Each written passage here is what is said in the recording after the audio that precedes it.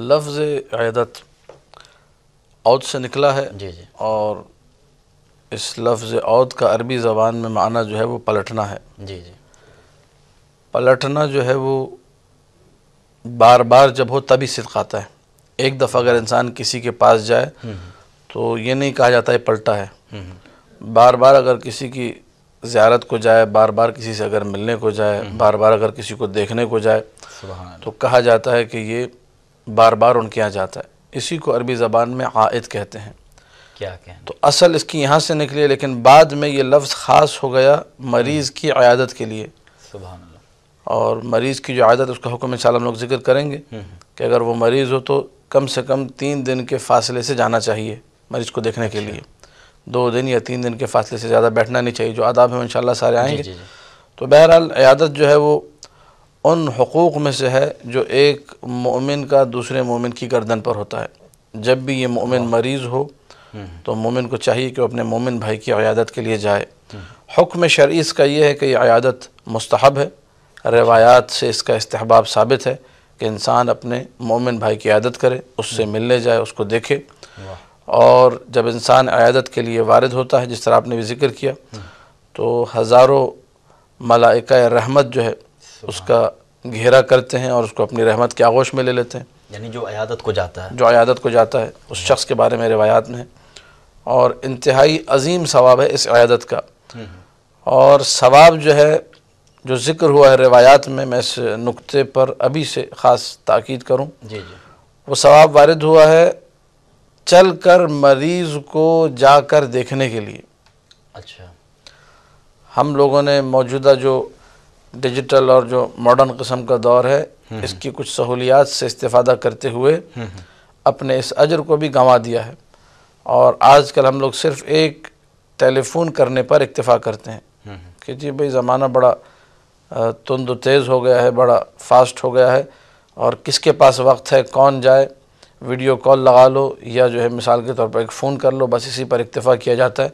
اور مریض کے پاس جانا اور اس کے جو عیادت کے آداب ہے، آہستہ آہستہ ان اسلامی اقدار سے ہم لوگ دور ہوتے جا رہے ہیں اور یہ بہت ہی افسوسناک بات ہے۔ لہٰذا ہمارے اس پروگرام کا پیغام بھی شروع سے میں عرض کر دوں یہی ہے کہ انسان ان امور کو جو اسلامی تہذیب کا ایک نمایاں حصہ ہے، کہ انسان مریضوں کی عادت کو جائے، احوال پرسی کرے، ان کی مزاج پرسی کرے، ان کے پاس جا کر بیٹھے اور اسلامی آداب سے اپنے آپ کو آشنا کرے۔ سبحان اللہ، بہت شکریہ آقا۔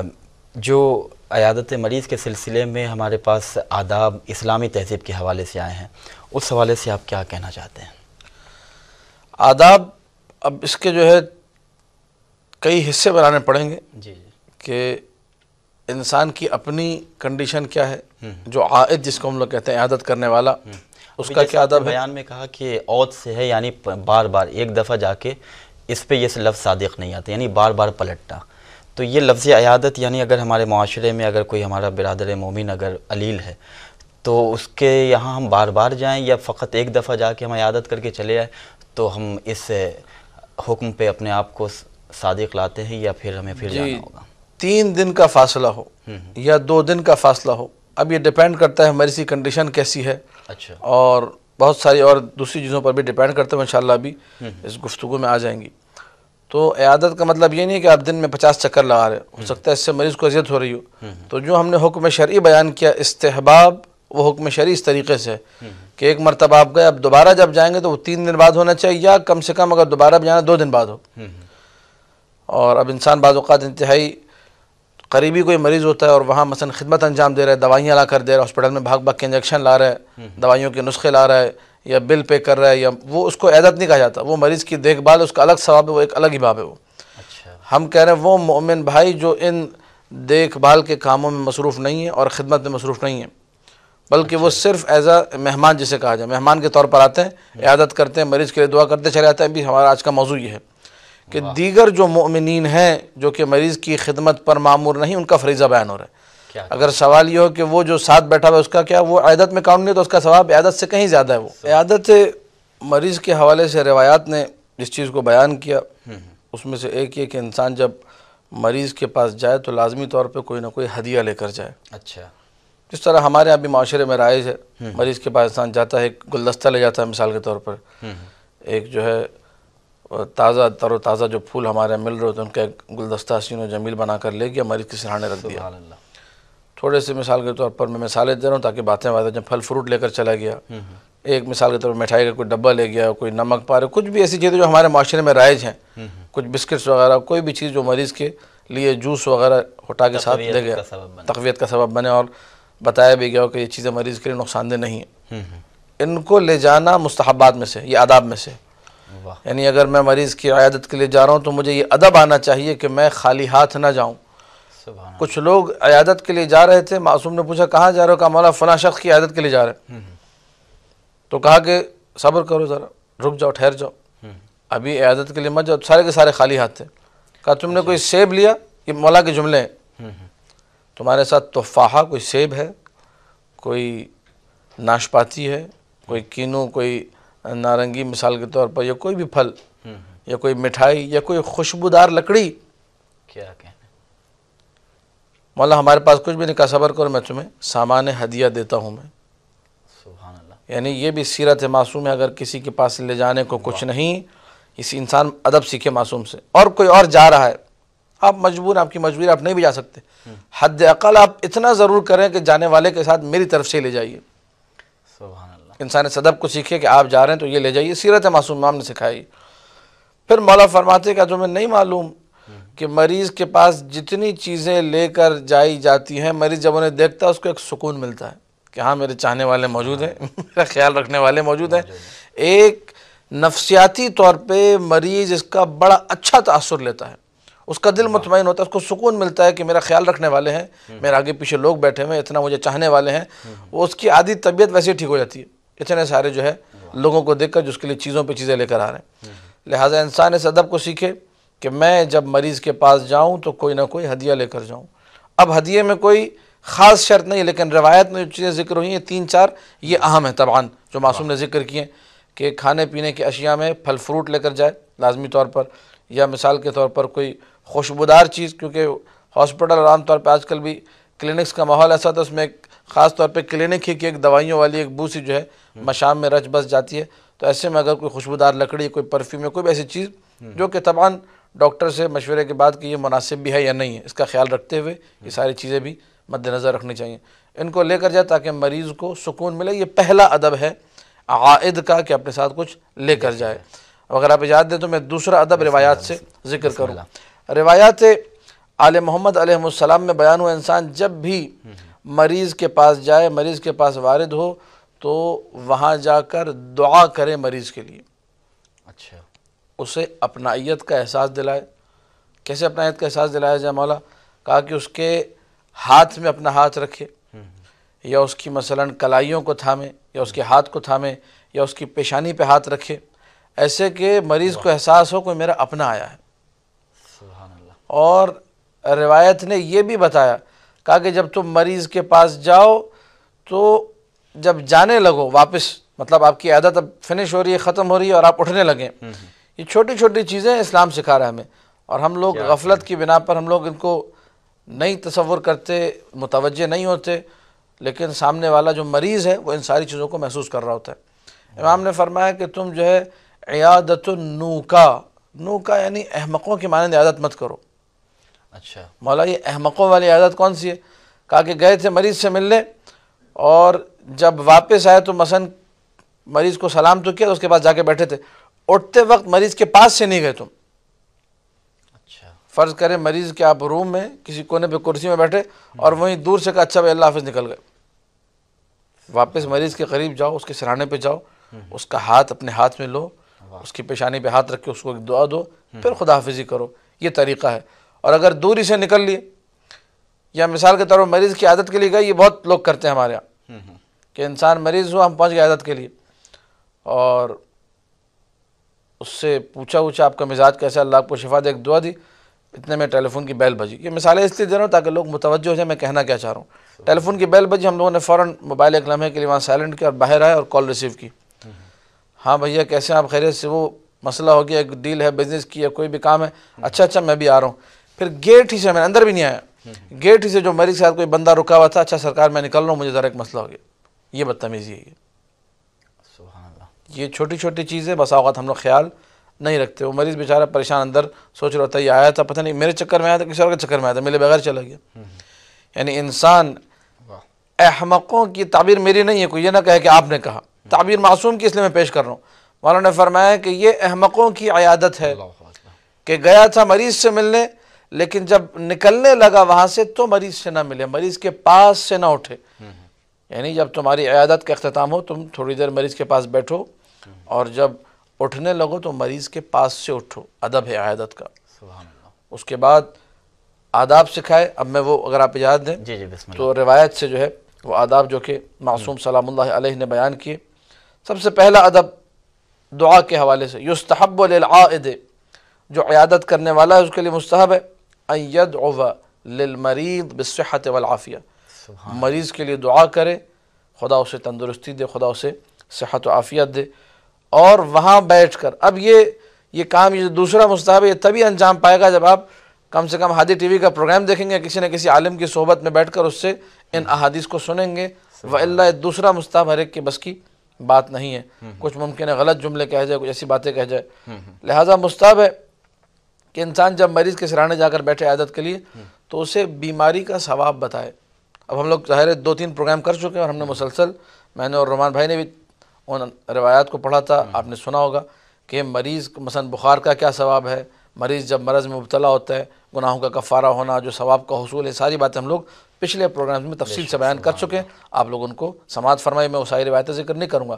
لیکن بہرحال مستحب ہے عیادت کرنے والے کے لیے کہ مریض کو جا کے ایک یاد دہانی کرے گا اسے پتہ بھی ہے، ان کو، اس کو وہ روایتیں پڑھ کر سنائے کہ دیکھو، اللہ نے مریض کے لیے کیا ثواب رکھا ہے۔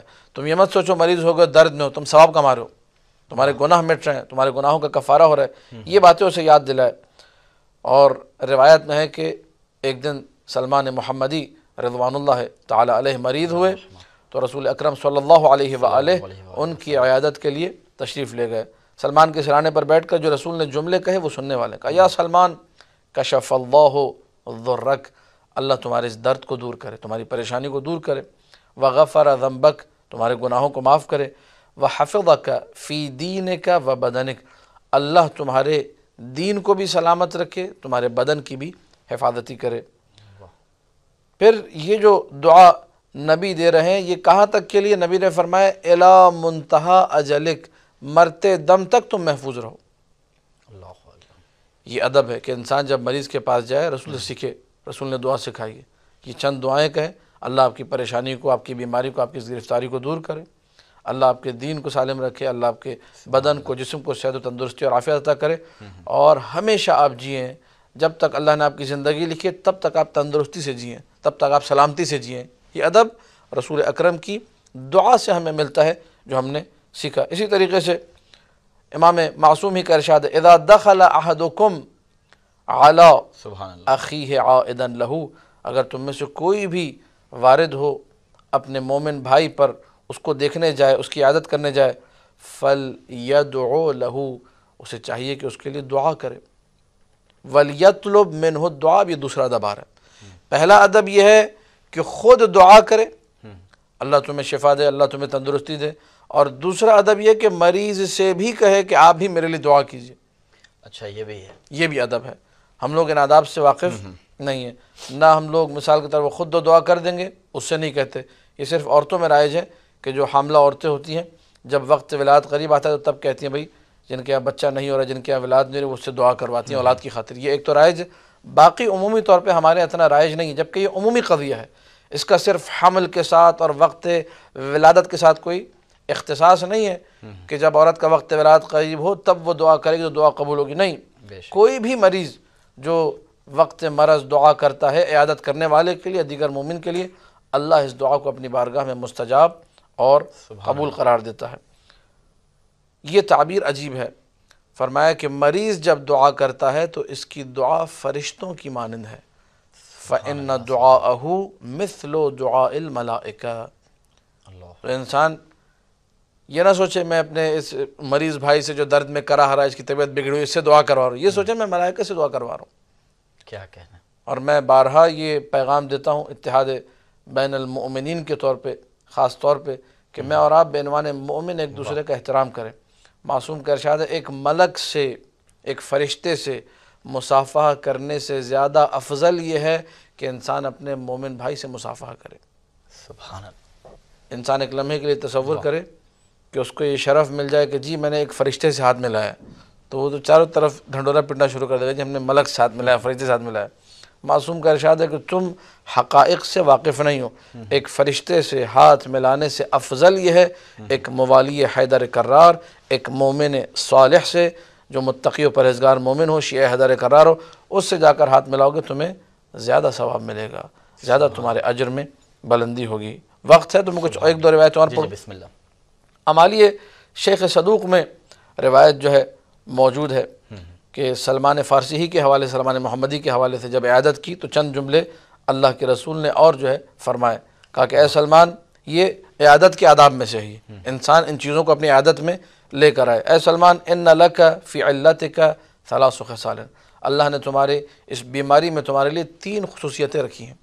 تین کوالٹیز اس بیماری کے حوالے سے تمہیں مل گئی۔ نمبر ایک، انت قریب من اللہ عز و جل بذکر۔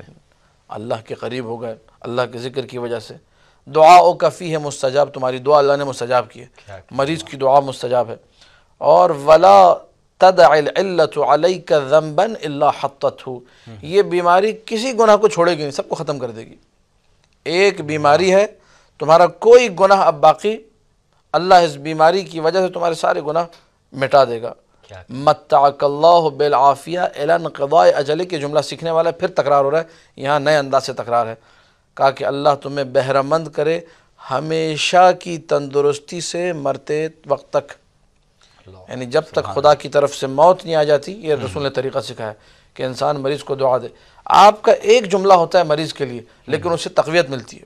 بے شک۔ اسے قوت ملتی ہے اسے سکون ملتا ہے ان دعاؤں کے ذریعے سے۔ ایک اور روایت پھر ہم لوگ جی، گفتگو کو یہیں پہ اس حوالے سے مکمل کریں گے آداب مومن کے حوالے سے۔ اور وہ روایت یہ کہ انسان جو ہے جب جاتا ہے مثال کے طور پر مریض کے حوالے سے عیادت کرنے تو معصوم نے یہ فرمایا جس کو میں نے پہلے بھی ذکر کیا کہ اپنا ہاتھ پیشانی پہ رکھے یا اس کے ہاتھ کے اوپر رکھے۔ پھر اس کے بعد مولانا نے یہ بھی فرمایا کہ زیادہ مت بیٹھو مریض کے پاس روایت کا جملہ ہے۔ اچھا۔ مریض کے پاس اپنے بیٹھنے کو طول مت دو۔ ایک دفعہ مریض خود خواہش کرتا ہے آپ سے کہ آپ تھوڑی دیر بیٹھے میرے پاس وہ ایک الگ بات ہے۔ لیکن آپ زیادہ بیٹھ رہے ہو بسا اوقات یہ چیز مریض کو انتہائی ناگوار گزرتی ہے۔ تو اپنے بیٹھنے کو تخفیف اپنے بیٹھنے کو ہلکا کرے زیادہ ثقیل نہ کرے مریض کے اوپر۔ امام جعفر صادق علیہ الصلاۃ والسلام کا ارشاد ہے۔ نمبر ایک تو یہ کہ اس میں بھی ایک نقطے کی طرف اشارہ اسی روایت میں لا عیادت فی وجع العین۔ آنکھ میں درد ہوا آشوب چشم ہوا اس میں کہا کہ کوئی عیادت نہیں ہے۔ یہ ایسا مرض نہیں ہے کہ جس میں انسان جا کر عیادت کرے۔ ایک یہ بات اس روایت میں بیان ہوئی۔ پھر اس کے بعد کہا کہ تین دن سے کم میں عیادت نہیں ہے۔ تین دن کے بعد عیادت ہے۔ ایک دفعہ کر لی پھر تین دن کے بعد۔ ہے پھر اس کے بعد کہا کہ اگر تمہارا دل چاہ رہا ہے قربت بہت ہے تو ایک دن چھوڑ کے ایک دن ایک ایک دن کے بعد بھی انسان عیادت کر سکتا ہے۔ اعظم اللہ لکم الاجر۔ اللہ جو ہے تمہارے اجر کو بڑھائے گا۔ یہ اعظمکم اجرا فی العیادہ۔ عیادت میں تم میں سب سے زیادہ اجر والا وہ ہے۔ اخفکم جلوسا۔ جو سب سے کم بیٹھے۔ کوئی یہ نہ سوچے کہ جی میں زیادہ بیٹھا ہوں تو میرا ثواب زیادہ ہے۔ نہیں یہاں معاملہ برعکس ہے۔ یہ الٹا ہو گیا۔ الٹا ہو گیا یہاں پر۔ مریض کے پاس جو کم بیٹھے گا سب سے زیادہ ثواب اسی کا ہے۔ لیکن کم بیٹھنے کا ادب جو ہے معصوم سے آ کر سیکھے۔ کہ میں نے اس کم مثلا میں پانچ منٹ بیٹھا ہوں لیکن اس پانچ منٹ میں میں نے مریض کو قوت نظر بھی دینی ہے دعائیں بھی دینی ہیں اس سے دعائیں لینے بھی ہیں اس کے ہدیہ لے کے بھی جانا ہے وہی بیٹھنا ہے وہی سے اٹھنا ہے۔ کیا کہنا یہ چند چیدہ چیدہ آداب انسان کو سیکھ لے ایک بہترین عیادت ہو اٹھے گا تو روایت کے جملے ستر ہزار ملائکہ کے ساتھ چلتے ہوئے نکلیں گے وہاں سے۔ سبحان اللہ۔ دعائیں اس کی قبول ہوں گی ایک عیادت کے صدقے۔ خداوند متعال کا یہ بروز حشر اس بندے کو خطاب کر کے کہنا کہ تو نے میری عیادت کیوں نہیں کی؟ تو وہ سامنے سے سوال یہ کرے گا روایت کے مطابق کہ بار اللہ تو میرا رب ہے تو کب بیمار کہاں کہاں سے بیمار ہونے لگے؟ مثلا اس کا لب و لہجہ یہ ہوگا۔ کہ محتاج نہیں ہے تعجب سے پوچھے گا کہ بار اللہ میں نے کب مطلب میرے علم میں یہ بات ہے ہی نہیں کہ اللہ بھی بیمار ہوتا ہے۔ بے شک۔ تو یہ تو ممکن نہیں کہ خدا بیمار ہو اور پھر میں اس کی عادت کو جاؤں۔ تو کہا جائے گا کہ تمہارے علاقے میں مثلا تمہارے قریب میں ایک بندہ مریض تھا مرد مومن۔ میں اس کے قریب تھا میں وہاں تھا۔ اگر تم اس کی عادت کو آتے تو گویا میری ہی عیادت تھی۔ کیا۔ اب یہ جو تعبیر ہے کہ اللہ کی عیادت کا ثواب ملے گا، مرد مومن کی عیادت کے بعد۔ یہ تعبیر علماء نے لکھا ہے، یہ تعبیر اس کو ہم لوگ کہتے ہیں کنایا۔ یعنی کہا یہ جا رہا ہے کہ تم مریض کی عیادت کے بعد خدا کے انتہائی قریب ہو جاؤ گے۔ قرب خدا کا وہ مرحلہ تمہیں ملے گا جو کہیں اور مثلا نہیں ملتا۔ تو اس کو کہا گیا کہ مریض کی عیادت یعنی خدا کی عیادت اور اس کے بعد عیادت کے فضائل، عیادت کے ثواب جو ہے تفصیل سے روایت میں موجود ہیں اس میں سے ہم نے کچھ ذکر بھی کیا۔ بہت شکریہ۔ مستحب ہے کہ انسان اپنے مومن بھائیوں کو خبر دے۔ کیوں خبر دوں میں اپنے مومن بھائی کو کہ میں مریض ہوں؟ اس لیے خبر دوں تاکہ وہ میرے لیے دعا کریں۔ جو عیادت کرنے والا مریض کے لیے دعا کرتا ہے اللہ عیادت کرنے والے کی دعا کو بھی قبول کرتا ہے۔ عن ابی عبداللہ علیہ السلام امام جعفر صادق صلوات اللہ وسلم علیہ کا ارشاد گرامی ہے ینبغی للمریض منکم تم میں سے کوئی بھی مریض ہو تو اسے چاہیے ان یؤذن اخوانہ بمرضہ تو اپنے مومن بھائیوں کو اپنی کنڈیشن کے بارے میں بتائے فیعودونہ تاکہ وہ آ کر اس مرد مریض کی، اس مومن مریض کی عیادت انجام دیں وَيُؤْجَرُ فِيهِمْ وَيُؤْجَرُونَ مریض کو بھی اجر ملے اور وہ لوگ جو آ رہے ہیں عیادت کرنے کے لیے، انہیں بھی اجر ملے۔ تو کسی نے اٹھ کر کہا فقیلہ کہا گیا، فرزند رسول، یہ کیسے ہو گیا کہ کیفہ یہ کیسے ممکن ہے کہ وہ جو آ رہے ہیں انہیں بھی اجر ملا اور پھر مریض کو بھی اجر ملا مریض نے خود بتایا فون کر کے بتایا کسی بھی ذریعے سے اطلاع دی۔ تو مولانا نے فرمایا نعم ہم یؤجرون فیہ لمشیہم الیہ۔ عیادت کرنے والوں کو اجر اس لیے ملے گا کہ چل کر گئے تھے۔ ان کو چل کر جانے کا اجر ملے گا۔ پھر پوچھا گیا مولا مریض کو کس بات کا اجر ملے گا؟ وہ تو گھر میں لیٹا ہوا تھا۔ اس نے تو خالی اطلاع دی ہے کسی کے ذریعے بات پہنچائی ہے کہ میں مریض ہوں۔ کہا کہ اس لیے اس نقطے پہ توجہ کریں۔ کہا اس لیے یہ معصوم کی تعبیر ہے۔ فرمایا کہ بکتصاب ہی لہم الحسنات یہ ان عیادت کرنے والوں کے لیے نیکی کمانے کا سبب بنا ہے۔ اگر یہ نہ بتاتا وہ نیکی کما نہیں سکتے تھے۔ واہ۔ اگر مریض شخص اپنے مومن بھائیوں کو نہ بتاتا میں مریض ہوں تو یہ آتے نہیں۔ یہ آتے نہیں۔ یہ آتے نہیں تو انہیں بھی اجر نہیں ملتا۔ تو یہ تعاون اس نے مدد کی ہے نیکی کمانے میں۔ چونکہ نیکی کمانے میں مددگار بنا ہے اس لیے اللہ نے اسے بھی اجر عطا کیا۔ اس سے ہم لوگ ایک کلیہ بھی یہاں سے اخذ کر سکتے ہیں کہ انسان کو نیکی کے کام میں لازمی طور پہ معاونت کرنی چاہیے تاکہ اس کو بھی ثواب ملے۔ پھر مولانا نے فرمایا فیُکتب لہو بذالک عشر حسنات۔ جو اپنے مومن بھائیوں کو اطلاع دے گا کہ میں مریض ہوں مثلا اور اس کے بعد لوگ عیادت کے لیے آئیں گے تو مومنوں کو صرف اطلاع دینے کے بعد دس نیکیاں لکھی جائیں گی دس اس کے مقامات درجات بلند ہوں گے۔ اور دس گناہوں کو اس کے نامہ اعمال سے مٹا دیا جائے گا۔ سبحان اللہ رسول اکرم صلی اللہ علیہ وآلہ وسلم کی سیرت ہو یا ائمہ معصومین کی سیرت ہو ہمیں یہ نظر آتا ہے کہ وہ فرق نہیں کرتے تھے۔ مومن کی عیادت کے لیے بھی جاتے تھے اور دوسرے جو لوگ ہیں کسی بھی مذہب سے کسی بھی مسلک سے تعلق ہو ان کی عیادت کے لیے بھی جاتے تھے۔ اور جب عیادت کے لیے جاتے تھے خاص طور پہ اس موقع پر جہاں پر آپ کا عیادت کے لیے جانا ماحول کو بہتر بنانے میں سبب بنے اس کے لیے باعث بنے یا مثال کے طور پر اس کی ہدایت ہدایت کا سبب بنے۔ سبحان اللہ۔ آپ اگر مثال کے طور پر فرض کیجیے آپ کو پتہ ہے یہ شخص مثلا شیعان حیدر قرار سے بہت دشمنی برتتا ہے۔ آپ کو پتہ ہے اگر میں عیادت کے لیے جاؤں گا تو یہ ذرا نرم دل ہو جائے گا۔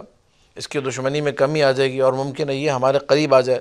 ممکن ہے اس کو خدا ہدایت عطا کرے موالی حیدر قرار بن جائے مثلا۔ تو خاص طور پہ اگر یہ بھی سبب موجود ہو تو پھر تو ضرور عیادت کے لیے جانا چاہیے۔ بہرحال جو استحباب والی بات ہے وہ صرف مومن کے لیے۔ غیر مومن کی عیادت مستحب نہیں ہے جائز ضرور ہے۔ فرق ہے اس میں۔ مستحب میں اور جواز میں۔ مومن کی عیادت مستحب ہے ثواب ملے گا رفع درجات ہوگا یہ سب ہوگا یہ سارے سلسلے جو سارے آداب جو ہم نے بیان کیے۔ اما غیر مومن کی جو عیادت ہے وہ جائز ہے۔ اور انسان کنڈیشن کو دیکھے کہ میرے جانے سے نتائج کیا مرتب ہوں گے؟ لازمی طور پہ جائے ضرور جائے ضرور اس کام کو انجام دینا چاہیے ان کنڈیشنز کو دیکھتے ہوئے۔